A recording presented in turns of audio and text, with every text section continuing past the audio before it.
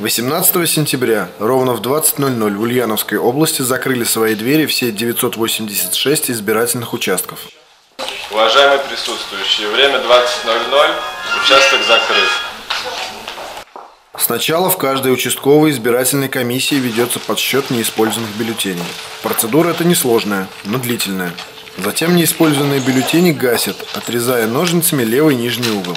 Вы видите, как это происходит в участковой избирательной комиссии номер 3403, которая работает в помещении факультета дополнительного образования педагогического университета на улице 12 сентября в Ульяновске.